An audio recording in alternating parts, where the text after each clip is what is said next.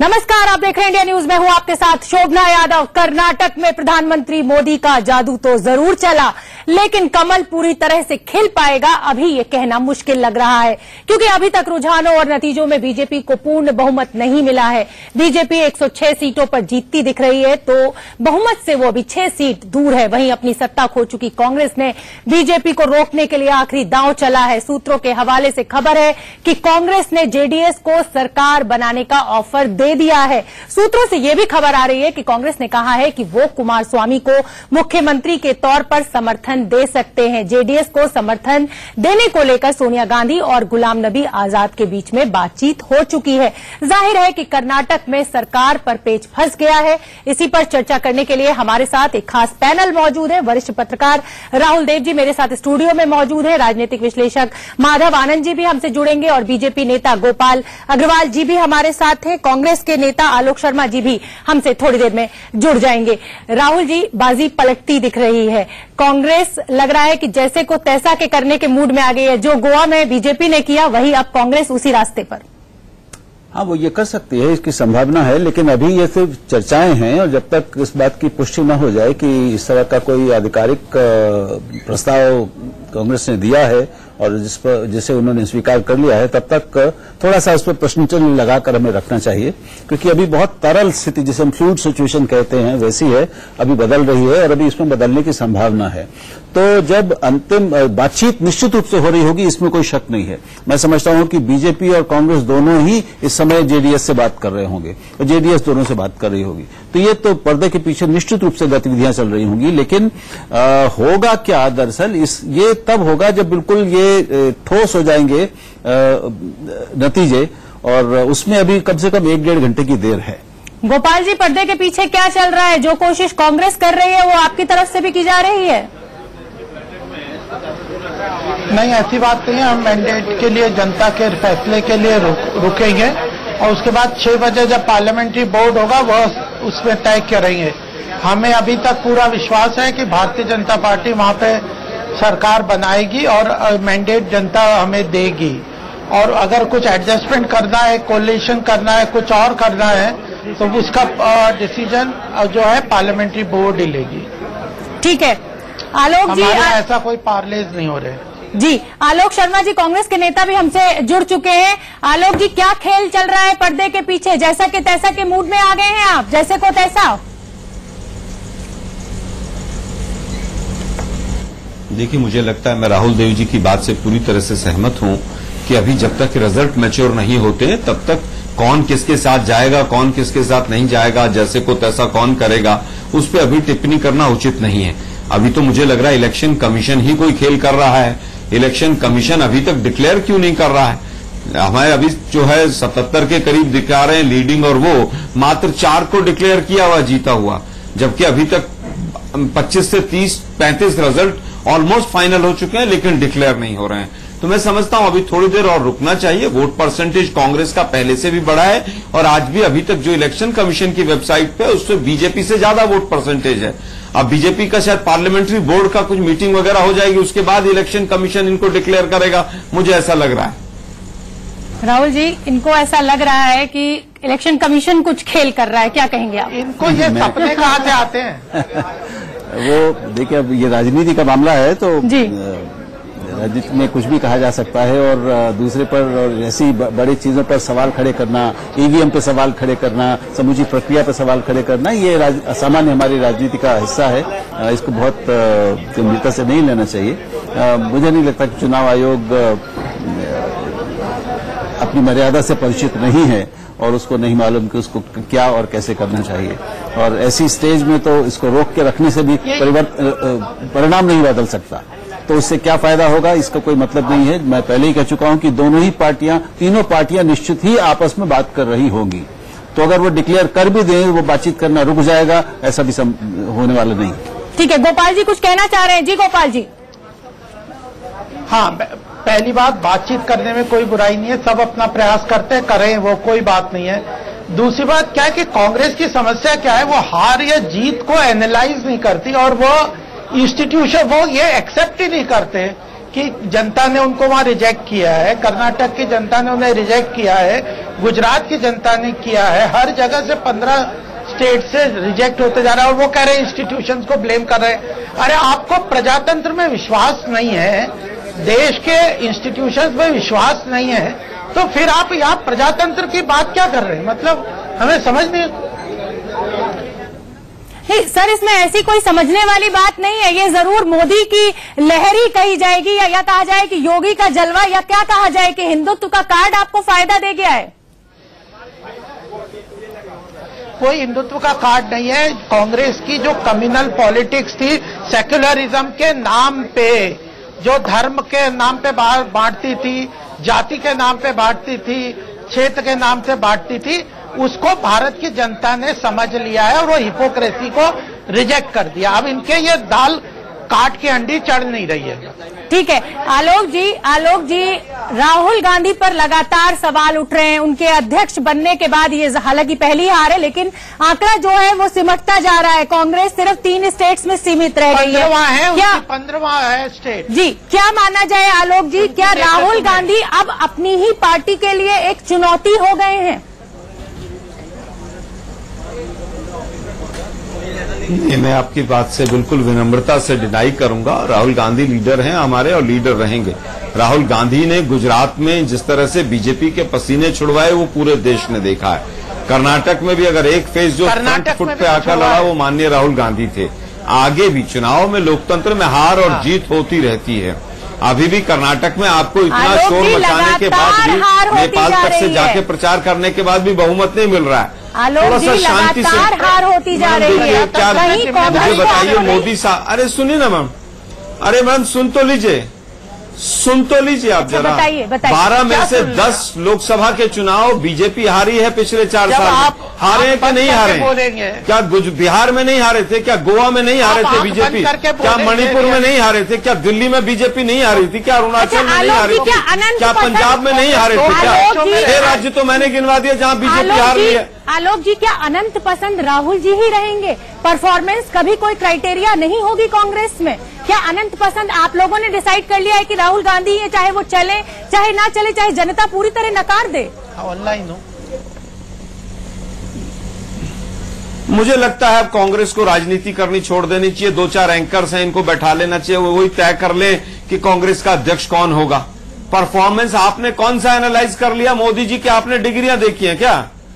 दो से पहली बार जनता ने सत्तर साल में बहुमत दे दिया। आप लोग काबू में नहीं आ रहे। कर्नाटक कुछ में भी कहे चले जा रहे। हैं 122 से तिहत्तर पर पहुँच गया है। गुजरात की हार हमने देख ली हिमाचल प्रदेश की हार हमने देख ली उत्तर प्रदेश में अभी आपकी भी हमारा वोट परसेंटेज रीजनल पार्टी के साथ खड़े ज़्यादा हो जाते हैं वो रीजनल पार्टी भी बाहर हो जाती मुझे है। बताइए एक राज्य बताइए जिसमें मुझे मुझे आप शोभना जी एक राज्य बताइए बीजेपी की सरकार पिछले चार साल में मोदी जी के आने के बाद रिपीट हुई हो। आलोक जी आप मेरी बात सवाल का जवाब दे दीजिए ना कि आप जिस रीजनल एक राज्य का नाम बताइए गुजरात को छोड़ के। नहीं मेरे सवाल का जवाब नहीं देंगे आप। नहीं आप बताइए क्या पूछा मैंने आपका सवाल सुना नहीं। गुजरात को छोड़ के एक राज्य का नाम बताइए। राहुल जी क्या ये सवाल आप इनको जवाब नहीं आप सुन ही नहीं रहे ना दिक्कत ये हो रही है। नहीं इस मैं मैं ये कह रहा हूँ कि गुजरात के अलावा बीजेपी का किसी भी राज्य में अभी तक कोई सरकार रिपीट हुई है। गोवा में एक चुनाव था जिसमें 26 में से 11 एमएलए पर आ गए। आलोक जी। मुख्यमंत्री हारे छह मंत्री हारे फिर सरकार बन गई। अरुणाचल में सैंतालीस एमएलए कांग्रेस के तोड़ के सरकार बना ली। आप लोग क्या देख रहे हैं? वो वो लोकतंत्र है लोकतंत्र में हार और जीत चलती रहती है। आलोक जी। आज भी कर्नाटक के अंदर हमारा वोट परसेंटेज ज़्यादा है। अरे भाई वो सही कह रहे हैं आप लेकिन ये जो आपने कहा कि उनके जेडीएस को किस तरह से बीजेपी ने चुनाव लगाया है सुन तो लीजिए। किस तरह से मायावती तो वहाँ गई है किस तरह से। ओवैसी वहाँ पहुँचे हैं क्या समझ नहीं आ रहा आप लोगों को आलोक जी हम समझ नहीं पा रहे हैं थोड़ी हमारी प्रकाश बुद्धि पे आप डाल दें मैं एक सवाल पूछ लूँ आपसे? नहीं राहुल जी बताएँ। नहीं आपका मैं सम्मान करता हूँ लेकिन अगर राहुल गांधी की योग्यता पर एंकर सवाल खड़ा करेंगे कि कांग्रेस सर हम कोई हम हम हम योग्यता पे बिल्कुल सवाल खड़ा नहीं कर रहे बहुत बताएँ अच्छे राहुल जी। नेता की तरह वो उभरे हैं गुजरात के चुनाव में भी आपने कर्नाटक कहा में ना। भी उनके प्रयासों में कोई आपने कमी कहा। नहीं है नहीं। उन लेकिन आप लोगों का शोभना जी आपका वाक्य गलत था। सर आपका अनंत प्रेम भी उनके लिए गैर वाजिब है। नहीं नहीं इसका देखिए ये इस तरह के फैसले फैसले निर्णायक बातें करना हम छोड़ दें हम लोग फैसला मेरा प्रेम किससे रहेगा? मेरा दो कितना रहेगा? ये एंकर तय करेंगे क्या? आलोक जी एंकर भाई। हर पत्रकार को सवाल उठाने का अधिकार है हमारा यही काम है सवाल उठाना। तो ये ये इस सवाल उठाएँ टिप्पणी ना करें कंक्लूजन ना दे डिसीज़न ना दे। बिना टिप्पणी के सवाल कैसे होता है? सवाल भी एक टिप्पणी ही होता है। कैसी बात कर रहे हैं आप? मतलब इतना तो हम और आप जानते हैं एक दूसरे की भूमिकाओं के बारे में। तो मैं आप आपकी भूमिका को ध्यान में रखते हुए आपसे आपने जो बात कही सिर्फ़ कि उनके प्रधानमंत्री बनने के बाद से कि कौन सी सरकार रिपीट हुई है तो कृपया ये बताएँ कि उनके प्रधानमंत्री बनने से पहले भी जो तीन तीन चार चार बार ये मध्य प्रदेश की छत्तीसगढ़ की सरकारें चली हैं बार बार जीत के आई हैं इसका कोई मतलब नहीं है क्या? आखिर बीजेपी ही से बीजेपी की ही सरकारें हैं ना? वही मुख्यमंत्री रहे बिल्कुल है तो क्यों नहीं वो है? तीन बार चार बार जीत रहे हैं। स्वीकार करता हूँ। तो सर दस वर्षों तक तो इसका क्या मतलब सर हुआ? दस वर्षों तक केंद्र में हमारी सरकार रही हमारा एंटी इनकम्बेंसी था। सर दस वर्षों तक केंद्र में हमारी सरकार थी। टू जी के ऊपर चार साल तक जो भी चुनाव हुए वो हम हारे। लेकिन टू जी का क्या नतीजा निकला वो भी पूरे देश ने ठीक देखा है आलोक जी डिलीवरी का आलोक टाइम जी आलोक जी आपको रोकना चाहूँगी। हमारे editor in chief Deepak Chaurasia हमसे जुड़ गए हैं और सर ओवर टू यू हाँ बहुत बहुत शुक्रिया, शोभना। सीधे हम चलते हैं सूचना और प्रसारण मंत्री राज्यवर्धन सिंह राठौर जी के पास। सबसे पहले राज्यवर्धन जी, आपको बधाई देना चाहूँगा। डबल बधाई है कर्नाटक में नंबर वन पार्टी बनने की, क्योंकि अभी 106 पर आप हैं। छह सीटों का अंतर अभी भी आ रहा है, इसलिए मैं आपको पूरी बधाई नहीं दे रहा हूँ, मैं आपको डेढ़ बधाई दे रहा हूँ। एक कर्नाटक में नंबर वन पार्टी बनने की और दूसरी कैबिनेट में आने की। आपका धन्यवाद। देखिए, हमें यकीन है कि जिस तरह से वहाँ पर हमने पॉलिटिकल कैंपेन करा था और जिस तरह से हम जितने भी राज्यों के अंदर हमने सरकार बनाई है और केंद्र सरकार जो हमारी है, जिस तरह से काम कर रही है, वो आज का वोटर देख रहा है। और वो देखकर आज उन्होंने विश्वास जताया है प्रधानमंत्री मोदी जी के कार्य करने के तरीके पर। जिस तरह की हम गवर्नेंस देते हैं, उसके ऊपर। ये आंकड़े आते रहेंगे। कुछ देर और आएँगे उसके बाद फाइनल आंकड़े आएँगे और जो उसके बाद परमुटेशन कॉम्बिनेशन होगा वो बाद में होगा। लेकिन हमें विश्वास है कि हम सिंगल लार्जेस्ट पार्टी रहेंगे और हम सरकार बनाएँगे। आपने कहा कि हम सिंगल लार्जेस्ट पार्टी रहेंगे तो क्या ये नतीजे आपके मन मुताफिक होंगे कि आप सिंगल लार्जेस्ट पार्टी तक ही रुक जाए? क्या ऐसी उम्मीद है आपको या आप अभी भी एक्सपेक्ट करते हैं होपिंग अगेंस्ट द होप या होप करते हैं कि आपको आ, 112 का बहुमत का आंकड़ा आप क्रॉस कर लें?